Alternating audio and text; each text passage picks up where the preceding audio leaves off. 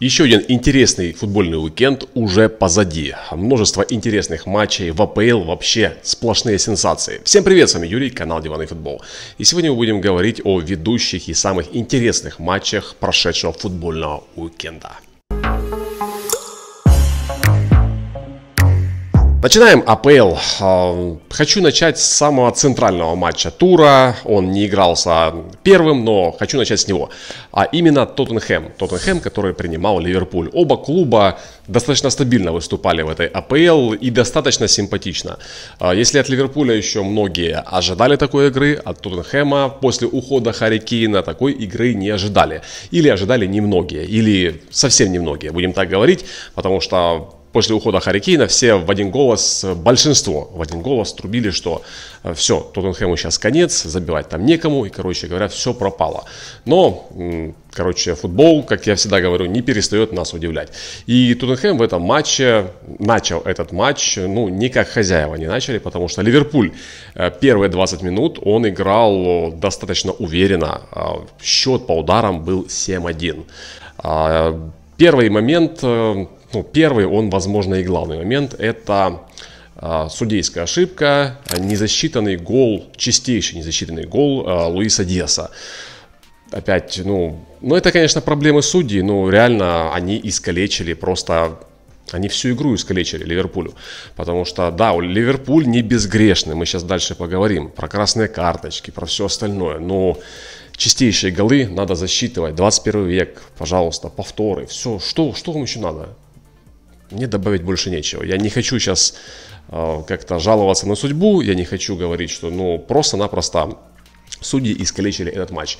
Э, отменили гол, э, чистейший гол Луиса Диаса. Идем дальше. Э, красная карточка Джонса. Ну да, он сыграл опасно, и такие вещи нужно пресекать, как бы там Джонс не удивлялся, как бы он там не короче, делал гримасы, но такие вещи, они должны пресекаться. И здесь судья красавчик. Здесь судья посмотрел, э, убрал желтую, показал красную, и все нормально, без запросов. Э, гол. Э, Тоттенхэм, естественно, после красной карточки у Тоттенхэма получилось такой эффект. У них, э, у Ливерпуля получилось э, больше свободных зон, и Тоттенхэм этим начал активно пользоваться. Опять не хочу, не могу не отметить вот этот волшебный треугольник, прямо волшебный. Так, такими треугольником, ну просто позавидовать. Без ума Сар Мэдисон. Мэдисон, как он читает игру. Блин, получает мяч, разворачивается буквально в доли секунды, принимает, он уже видит этот коридор, как он, когда забивал гол Тоттенхэм, какую он дал вот эту пред, предосистную передачу. Блин, ну бомба просто. И опять хочу отметить в плохую сторону защиту Ливерпуля именно Ван Дейка, потому что Ван Дейк в этом моменте, он должен был накрывать Сона. Да, Сон скоростной, Сон быстрый, без вопросов. Но Ван Дейк видел этот момент, он его прямо читал, этот момент, и как-то он как-то он побежал сначала прямо, надо было по диагонали бежать, а, потому что кто там, Матип, он, он не видел Матип, этот, этот, э, он видел, э, Матип не видел Сона, Сон был за спиной, но Ван Дейк видел все, у него опыт, это опытный защитник, он все прекрасно читал. Но здесь э, единственное объяснение могу сказать, это то, что Ван Дейк, он с каждым матчем становится все медленнее и медленнее, и с этим ничего не поделаешь. То есть э, годы берут свое, он просто не успевает и не возит, как в этом матче. Потом э, Жота. Жота получил две э, желтых карточки, и Жота ну, я считаю, что первая желтая карточка, а, нужно было пересмотреть этот момент. Э, первая желтая карточка, ее можно было не давать. Вторая желтая карточка без запросов, это на его совести ты выходишь на замену. Ты выходишь на замену, когда команда в меньшинстве, ты должен ощущать ответственность, ты должен, ну, ты, ты, ты дофига чего должен был делать. Жота, ну, он сыграл как, не знаю, как просто, ну, эмоции. Эмоции, я понимаю, что он заряженный был на игру, я понимаю, что он хотел там помочь своей команде, хотел там помочь, чтобы команда изменила исход или там, ну, короче, хотел он, он много чего хотел сделать полезного, но он попросту подставил свою команду. Вторая желтая превращается в красную, и э, Ливерпуль остается в 9 ром. И что я хочу здесь, э, куда акцент поставить, это гениальность Юргена Клопа. Вот мы привыкли говорить про магию, это гениальность Юргена Клопа, потому что до такой степени он топово перестроил команду, когда они играли в девятером, они стали играть, ну, мне, мне понравилось. Ты, ты понимаешь, что команда играет девятером, и Тоттенхэм банально ничего не мог сделать. До такой степени все контролировалось, до такой степени был, да и прессинг, все там было. Там было относительно их ситуации, ну, в исполнении футболистов Ливерпуля было все сделано четко. А, гол, этот, конечно, автогол, Матип, который уже на последних минутах забил, блин, но они уже, они уже выдохлись. Там было видно даже, как они бежали, все, они уже в таком темпе, они не могли. Ну, банально чуть-чуть не хватило Ливерпулю до подвига. А, по поводу Тоттенхэма. Ну, здесь тоже вот, многие смотрят этот матч, говорят, судьи засудили все. Судьи-то засудили без запросов, но или не засудили, или поломали, или искалечили. Но Тоттенхэм, вот прошлый матч, матч с Арсеналом, вот они эффективно пользуются привозами, ошибками. Есть привоз, есть ошибка, они сразу раз моментально наказывают, раз моментально наказывают, как хлестко, как, как не знаю, как э, резко, как змея какая-то. И здесь опять большой-большой респект что тот матч с Арсеналом они вытянули, было два привоза, что здесь тоже, ну, были мини-моменты, где вот Ливерпуль немножко просел, они все равно в конце матча вытянули свои три пункта. Поэтому двуякое мнение. Матч, конечно, мега интересный, очень крутой матч, но это АПЛ. За это я и люблю АПЛ, за такие матчи, ну, за такие матчи, как был прошлый матч с Арсеналом. Когда этого Арсенал играл с МЮ. Опять, ну, очень все круто, сколько драматизма, интрига, все здесь есть, все здесь круто. Э, просто-напросто, ну, судьям надо как-то, как-то надо им пытаться по максимуму делать так, чтобы не портить такие матчи. Идем дальше. МЮ. МЮ принимал Кристал Пэлас. Буквально недавно они а, там за сколько, за 3 или 4 дня до этого не играли с Кристал Пэлас в кубке.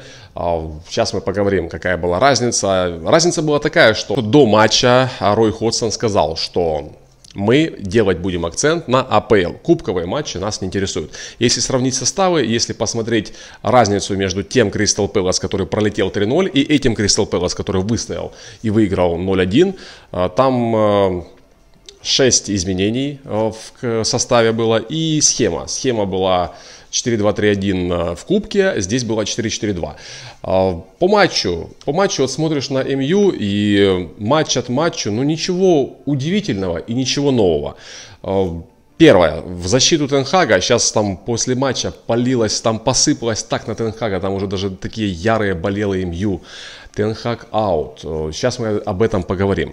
А, я хочу в защиту Тенхага сказать, что ну, реально кадровые проблемы. Кадр вообще посыпался состав. Там посмотрите лазарет. Там человек 6-7. А это те 6-7 человек, которые должны, в принципе, играть в основе. Дальше, а, защита. Опять Линделев, опять привоз. Вот этот гол, который, гол феноменальный забил футболист Кристал Пэлас, но опять привоз чистейшей воды, потому что он стоит Э, с футболистом, с этим Лиделев, плотно, и потом его буквально в ответственный момент он его отпускает. Отпускает так хорошо, метра на полтора. Он мало того, что его отпускает, он еще его теряет из э, поля видимости.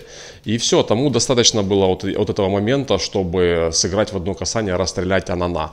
Анана в, этом, в этой ситуации был в принципе бессилен, хоть он и не отличается последних последний, да не то, что в последних, вообще в МЮ.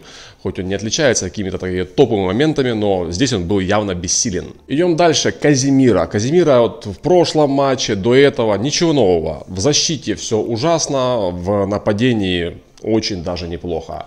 Бруно Фернандес старался, опасно бил, все это было классно, но ну не более того. Э, немножко понравился в этом матче Маунт. Маунт старался, Маунт открывался. В одном из моментов Гарнача пожадничал. Маунт там перед штрафной открывался, стоял, так руки разводил, руками разводил, э, кричал «дай, дай, ассист, я могу сейчас пробить». Гарнача полез, ну Гарнача он горячий. А дальше, Маркус Решфорд. Решфорд э, вообще, ну что с Решфордом? Сколько, в каком это матче?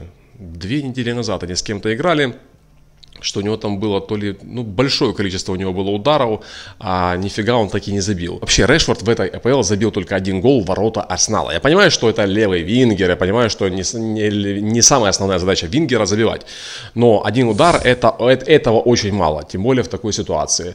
И как-то вот опять опять, как я говорил, прошлый раз до этого, ну, вяло все, несерьезно и вяло, нету структуры.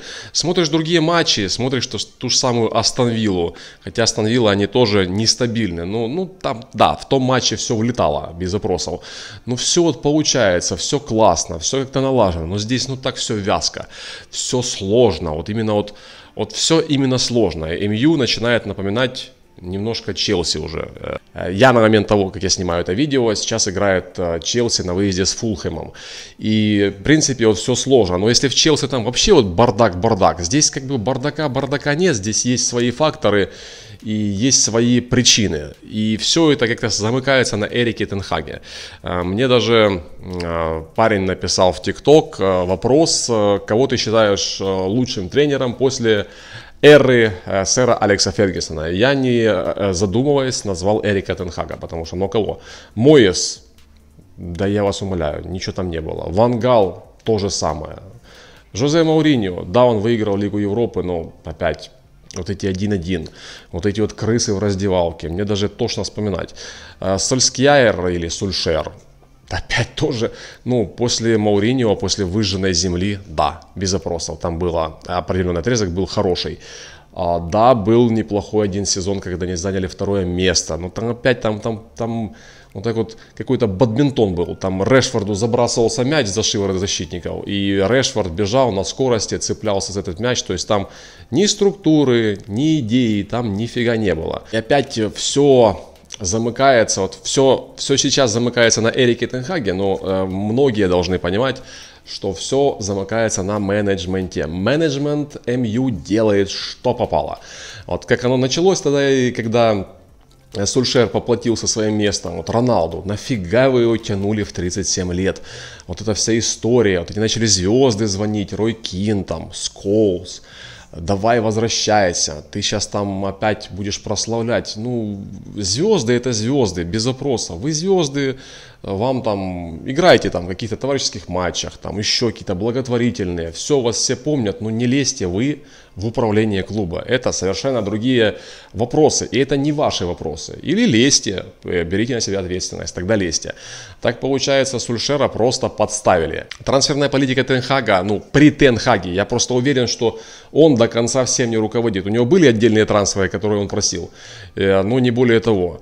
Вот он в том году просил Де Йонга, Фрэнки Де Йонга. И Барса же хотела, Хави хотел продавать Де Йонга. Не купили. Почему? Непонятно. В общем, какие-то трансферы осуществляются мутные, какие-то не мутные, но вот как-то оно все не собрано, и какой-то бардак творится. И вот этот бардак, он, он и вылазит в результате. Повторюсь, в защиту Эрика Тенхага я скажу то, что в команде сохраняется целостность, пока сохраняется. То есть есть определенные мудачки, но целостность там есть. И они на этом еще могут выехать. Да, на чемпионство им как-то там да что там про чемпионство говорить? Про чемпионство говорить уже нечего, потому что это сильно много должно звезд сойтись. А вот, э, вот эта целостность, она может позволить им на определенном отрезке в этой АПЛ еще выехать. Что ж, посмотрим. Еще большое количество матчей. Будем смотреть, но конечно, печально. Печально, потому что ожидания от МЮ были, ну, лично у меня совершенно другие. Идем дальше. Ман-Сити. Ман-Сити проигрывает первый матч в АПЛ. А, Ман-Сити посыпался, потому что они недавно проиграли в Кубке Ньюкаслу. И проиграли они Вулверхэмптону, команде, которая дома может выиграть, обыграть абсолютно любую команду АПЛ. Это мы уже видели. А, команда, ну если они ловят кураж, плюс когда им а, сопутствует удача, все, это это Вулс берет свое непременно. В этом матче мы наблюдали в начале матча автогол. Но опять, он не на ровном месте приехал, этот автогол. Нету, который пролетел по броуке, который сделал большое количество работы. Вообще Нету, а, Вулс в этом сезоне а, забил 8 голов. Нету поучаствовал в 5, 5 то есть стата у чувака классно и ну, мега талантливый. Жалко мне было в том сезоне, он достаточно долго лечился, и вот теперь он с, таким, с такой жаждой, с таким голодом вошел в игру, ну просто суперовый отрезок. Ну по Улсу что сказать, ну вот они цельно играют как команда с прессингом, прессинг, низкий блок. Они играют, ну как против Мансити играть? Против Мансити точно так и надо играть. Раскрываться нельзя, потому что еще, как говорил Антонио Конте, еще дав давным-давно говорил, что это самоубийство, раскрываться с Мансити. Мансити, А, самая первая причина, ну, естественно, кадровая, потому что, потому что, потому что нет кого, нет Родри, лучшего опорника на данный момент мира. А Родри нет, Кейна Дебрюйна нет, э, и результат мы видим. Альварес пытается что-то сделать, но не наблюдалась в этом матче такая структура от Сити. Что интересно, что счет 2-1, а, вроде бы как два гола забили Вулс, но удары в створ у Вулса один удар в створ. То есть, короче, два гола, один удар. Ну, повторюсь, это автогол. А, по поводу Родри. А, нет Родри, нет Кейна Дебрюйне. И Холланда просто съедают. Он просто исчезает, его съедают. Это я говорю тем, кто э, бьет себя в грудь и кричит, что Холланд должен быть э, обладателем золотого мяча, вот, который, э, церемония будет там через сколько там, через 25 дней или через 30, вот, они, они себя бьют в грудь, и они говорят, что Холланд должен быть там, брать золотой мяч. Какой золотой мяч? Если отдавать э, футболистам, к футболисту Мансити золотой мяч, это должен быть Кевин Де Брюйне. Вот, вот мотор, вот от кого все пляшет, вот кто строит игру. А, если нет таких ключевых футболистов, как Дебрюйне и как Родри, все. Полная печаль от Холланда или полная футбольная импотенция. Ну, не обижайтесь, но это так и есть. Сам он, а, он в тяжелых матчах вывести не может. И он, в принципе, сам ничего создать не может. Просто вот он, он такой футболист пока. Возможно, он еще как-то в будущем как-то будет вытягивать. Пока э, я вижу это так. И ничего с этим поделать невозможно. Многие, много посыпалось на Сити, многие говорят, вот там сейчас чемпионство уже не так явно светится. Я, я не сторонник так думать, я думаю, что у Сити все равно все наладится. Пеп Гвардиола сейчас что-то придумает, потому что у него, в принципе, футболисты, они, они как бы известны своей универсальностью. Кто не был универсальным, Пеп Гвардиола из них сделал универсалов. И поэтому здесь проблем не будет. В другом, что, что по-другому сказать, сейчас у них будет матч с Лейпцигом, Лейпцигом в Чемпионов. А после этого они едут на Emirates Stadium, восьмой тур АПЛ. И здесь будет очень интересно, потому что Родри еще не сумеет э, выйти на поле, так как у него, ну, он два матча пропускает.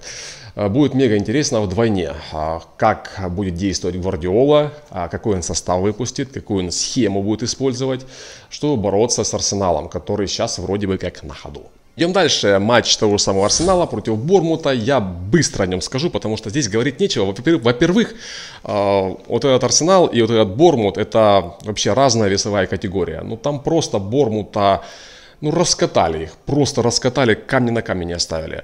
А по поводу Арсенала, опять, приятно за Эдегора, это креатив, он вырос, я уже его хвалил, он за год, за прошлый, он до такой степени вырос, что он просто но он мега креативный сейчас.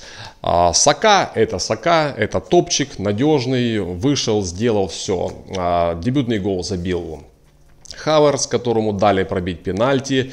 И здесь тоже хочу отметить эм, Эдегора, который после того, как Хаверс забил, он, он его еще так подтолкнул к фанам Арсенала, беги, беги туда, чтобы он почувствовал эту всю э, атмосферу, чтобы он, ну, чтобы ему как-то легче было пристра... не пристраиваться, приспосабливаться, чтобы ему легче было приспосабливаться, чтобы он в дальнейшем приносил пользу.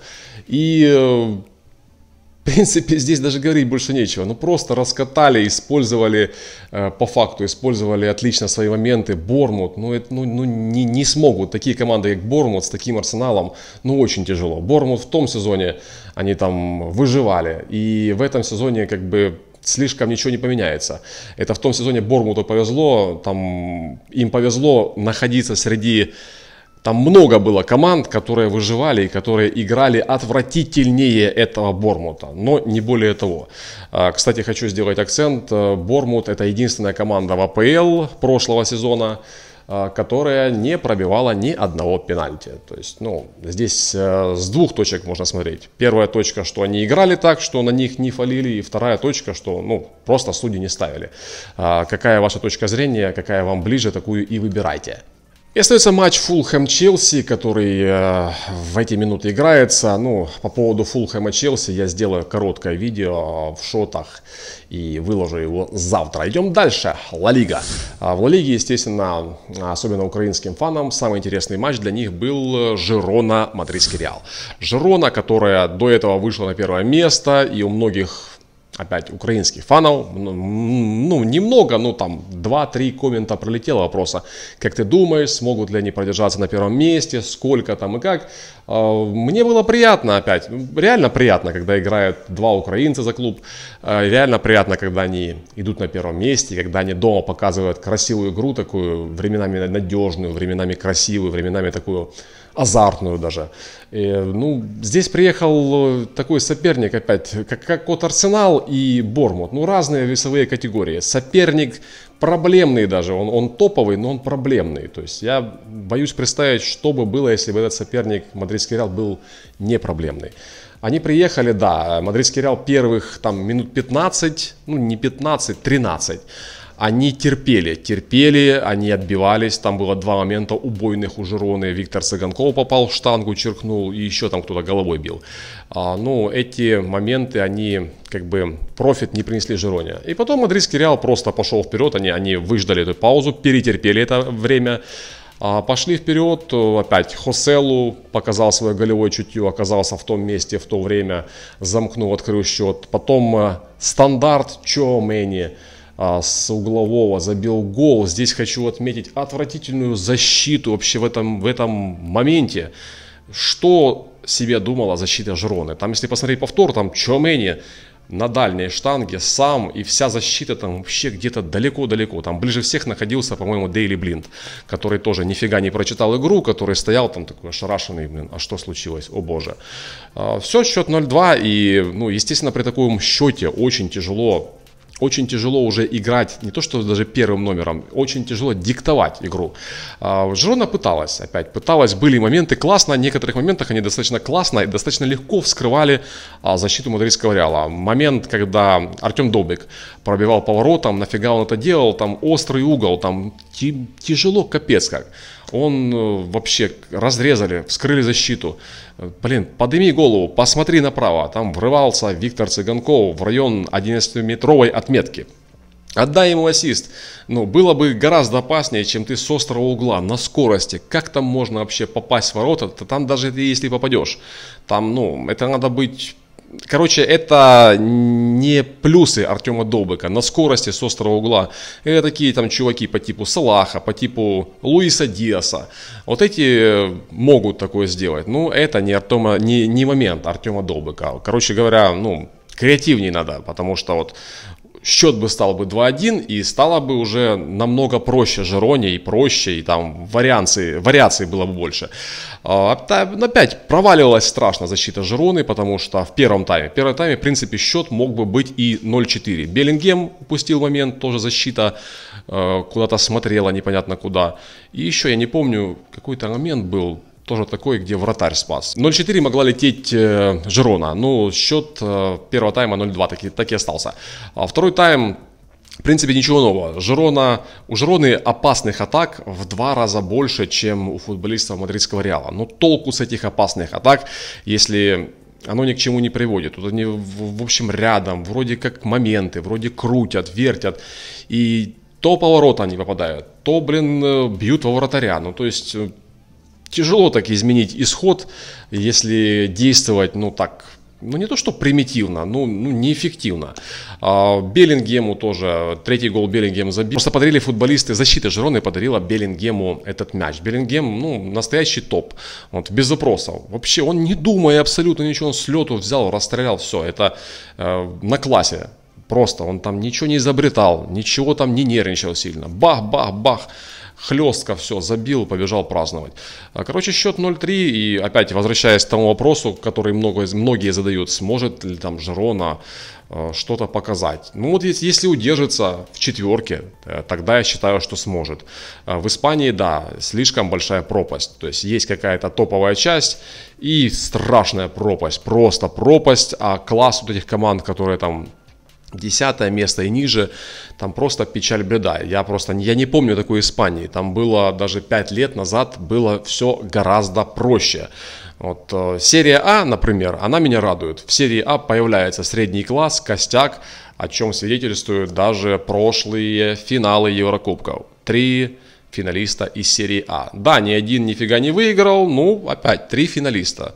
Э, попробуйте выйти в финал. А здесь три финалиста, э, Кубок Конфедерации, э, Лига Европы и Лига Чемпионов. Пожалуйста. Короче говоря, если подытожить, мадридский Реал просто классом выше и ну, делаю такое заключение, они просто на классе э, проходят или побеждают Жирону. Без, ну не, не без проблем, ну без, скажем так, особых проблем. Идем дальше, Барса Севилья. Э, интересный матч, естественно, там противостояние такое. Э, Серхио Рамос вернулся в Севилью, то есть все должно было быть как бы так горячо. И оно в принципе таки было в матче. Барсу в последнее время лихорадит, то они там два матча подряд 5-0 0 выигрывают, то они там вообще ужасно начинают играть. Я уже выражал свое мнение еще пару недель назад. У многих фанов Барса сложилось впечатление, что после этих 5-0, что прямо прорвет. Там множество проблем. Я же говорю, ушли э, э, ключевые лидеры команды, особенно Бускес. Да, он уже был старенький, да, все, но опорная зона в Барсе мне сейчас не нравится.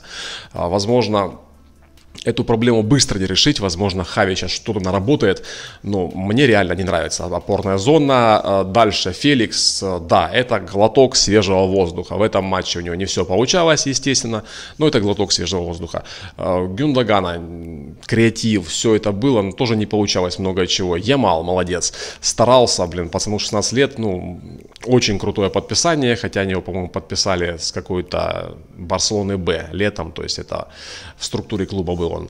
А, в принципе, он и сделал этот автогол Серхио Рамоса. Именно Ямал скидывал на своего партнера, по-моему, это был Ферран Торрес, если не ошибаюсь. И если бы Рамос не сделал этот автогол, не забил, то за это, это бы сделал бы футболист Барса. Но если вот подытожа все, я долго не, не хочу рассказывать об этом матче, если все подытожа, а, было много борьбы, а, тяжелый матч был для Барса, и Барса, в принципе, ну сложно, вот сложная победа Барса, потому что ну, во-первых, счет 1-0, он шаткий. Во-вторых, а, много много прощали и футболисты Севильи, там и по самолетам били, то есть у Барсы такие ощутимые проблемы. И я же говорю, самая главная задача Хави в этом сезоне будет это не то, что там мне некоторые кричат, выиграть Лигу Чемпионов или что-то еще. Нет. Самая главная, основная задача а, Хави перестроить Барсу, вот, отпустить вот эту эру с этими легендами, с этими пенсионерами. И всю нагрузку возложить на молодежь, чтобы молодежь почувствовала на себе нагрузку, ответственность. И чтобы костяк у Барса был уже совершенно другой. Он уже как бы меняется этот костяк. Э, Гави, ну, Педри, понятно, что не было. Гави вообще, ну, он мне напоминает Дженера Гатуза он мне напоминает, потому что такой футболист должен быть, в принципе, в любой топовой команде, у которого глаза горят. Да, он чересчур эмоциональный, да, он иногда подставляет а, своих партнеров, он провоцируется легко вообще, как, как спичка зажигается.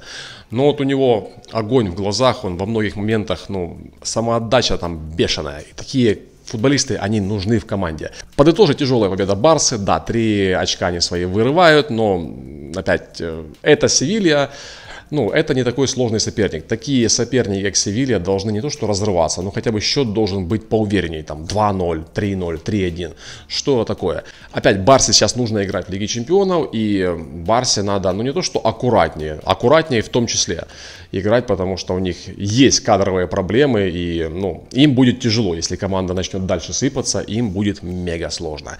Идем дальше, серия А. В серии А я хочу выделить два матча. Матч Интера я не хочу комментировать даже. А, Милан, центральный матч. В принципе, было два центральных. Милан принимал Лацио и Аталанта играла с Ювентусом. А, Милан-Лацио. В этот матч он мне чем-то, особенно первый тайм, напоминал матч Милан-Ньюкасл, матч первого тура группового этапа ЛЧ. Вот, в принципе, сюжет такой, рисунок такой, вот, что-то было похожее. Вот, Милан идет как катком, пытается что-то сделать, не получается, то не получается, то вратарь отбивает. Короче, все против них. Но во втором тайме, да, хочу, кстати, отметить в первом тайме Ляо. У Ляо тот, который играет на команду, это один Ляо. Ляо, который дурака валяет и что попало делает, э, играет как-то на себя, пытается в одиночку решить, это совершенно другой Ляо. И ему нужно уже, ну, не знаю, вот он, он первый, по-моему, момент у него был, когда надо было давать ассист проникающую штрафную. Он бьет, ему неудобно, он бьет с левой, э, в левый угол ворот, то есть там вратарь стоит. Ну, такие голы, это там надо либо очень сильно ударить и точно, и чтобы еще вратарь как-то сплоховал. Короче говоря, ну, это больше шансов, что ты можешь запороть этот момент, чем ты что-то сделаешь полезное. А потом Ляо дошло, что надо, надо как-то играть на команду, и вот э, он сделал два ассиста в этом матче, и вот я же говорю, это Ляо, который играет э, на команду и который дурака валяет, это совершенно два разных Ляо. Приятно, что Пиоли нашел применение новичкам, которые перешли с Челси, особенно Пулишич, молодец вообще. Ну, он до этого живенько смотрелся, но как-то у него было тяжело с реализацией. Вот скорость классная, старался. А видно, что, ну, видно, что он так больше, более-менее так в своей тарелке, но еще не до конца.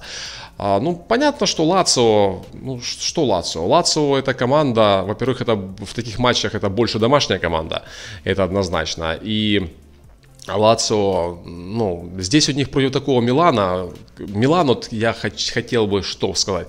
Милан в начале сезона, что этого, что того, два года назад я не помню. Они чемпионство взяли, но я как-то не сильно помню их форму. Я помню, в Лиге Чемпионов они мне не понравились, когда Ливерпуль приезжал вторым составом, их растращил. А вот в серии А я не помню. Но вот в том году начало хорошее, живенького Милана было, блин. Вот эти новички, которые его приходили. Мессиас, Декетеларе. Блин, до такой степени классно. Ты смотришь и реально кайф получаешь. И в этом сезоне вот тоже э, приятно смотреть на игру Милана. И, если честно, я всегда симпатизировал этой команде, хотя всегда в Италии болел за Интер. Но как-то вот не отпускает такое ощущение, что вот сейчас это как-то на определенном этапе, там, через месяц-полтора это все может закончиться. Ну, как в том году. Ну, такая такое ощущение или такая фобия. А пока все очень-очень достойно, если взять вот эти все игры, ну, блин, ну, прикольно. Э, вытягивают. Ну да, матч с Интером у них получился провальный. Но опять, такое бывает у каждой команды, абсолютно у каждой. Если взять там, да блин, ну много примеров есть, когда команды, Юрген Клоп 7-2, Ливерпуль, Астон Вилли летели после того, как играли, по-моему, в финале Лиги Чемпионов, что такое. Короче, много примеров можно провести. И я не хочу здесь акценты делать именно на этих примерах. Я говорю о том, что в Милане. Я говорю о том, что летом я посмотрел на трансферную, новую трансферную политику и вообще на новую политику клуба. Мне не до конца понравилось, что они отпустили защитника, забыл, как его, Ньюкасл этого защитника. Э, мне не понравилось, что они начали вот этот брать как бы сбитых летчиков, таких подсбитых. Но видно, вот, что приятно, это то, что видно работу тренера. Пока все работает очень неплохо. Э, видно, что у них, у Милана, возможности совершенно не те, которые, да, в принципе, у итальянских клубов сейчас э, сложно с возможностями, потому что, ну, они считают каждую копейку. И просто-напросто приятно смотреть на эту игру, приятно смотреть на креативность команды, которые дают тебе наслаждаться футболом. Милану сейчас выступать в Лиге Чемпионов, и, ну, это, в принципе, очень круто, когда ты в чемпионате побеждаешь перед матчами Лиги Чемпионов. То есть э, у команды позитив, и команде будет легче играть эту игру в Лиге Чемпионов. Идем дальше. Атланта принимала Ювентус. Э, что сказать по этому матчу? Ну, Алегри. Алегри это такой тренер, это уже да все кругом говорят, у Аллегри самая главная установка – это не пропустить. Вот, как угодно играйте, главное не пропустите. Эту установку, в принципе, футболисты Ювентуса выполнили. А, дальше. Матч э, получился максимально скучный, максимально вязкий. А, вообще, команды там насоздавали, сколько ли насоздавали? Ну, что одна команда на гол э, создала, что вторая максимум. Все. Больше я не могу ничего сказать. Ювентуса был момент с Кьезой, и у Таланта, я не помню этого футболиста, был этот момент. А, да, Аталанта сейчас прямо не блещет. Это не та Аталанта, которая была там 2-3 года назад. Но а, я здесь даже больше хотел поговорить про Ювентус. Я вот в начале сезона, не, не в начале сезона, я две недели назад, когда Милан проиграл Интеру, и я так сделал акцент на том, что самые гла- два главных претендента на золото это Интер и Ювентус. Интер, потому что у них все классно, а Ювентус, потому что они не участвуют, не принимают участие в Еврокубках, и ну, это большой плюс на самом деле. Когда у тебя одна игра. Там еще Кубок Италии, но когда у тебя относительно одна игра в неделю, ну, это большой плюс. То есть ты, ты просто, у тебя запас прочности намного больше, чем у команд, которые играют игр больше. Но я вот сейчас э, как-то смотрю, что я поспешил с выводами. Вот этот Ювентус, я не знаю, как, как они будут цепляться за э, Скудетто, я не вижу просто. То есть Запаса прочности у этого Ювентуса нет. Это совершенно не тот Ювентус, который мы привыкли видеть даже еще до Роналду. То есть, ну, там вообще там, тут просто по составу. Опять сезон, сейчас начнутся травмы. То есть, если посыпется как они будут действовать дальше, ну непонятно. Я же говорю, игра ну максимально скучная, максимально такая вязкая. И дело в том, что прошлый тур посмотри на игру. То есть тут, тут все, у меня, у меня как бы, я не ожидал, что так настолько все печально. Я думал, что ну, ладно, еще Аталанта. В принципе, установка выполнилась, счет 0-0. Ну, как можно от Сосуола пропускать 4 мяча? И там же, там же какая-то системный какой-то бардак. А, что честные, что защита. Ну, просто нет того качества, нет того качества состава. И я же говорю, я поспешил с выводами. Ну, я не вижу, за счет чего Ювентус э, попытается боро- побороться за Скудетто. Опять, скорее всего, скорее всего, самая основная борьба будет между миланскими двумя командами и Наполи.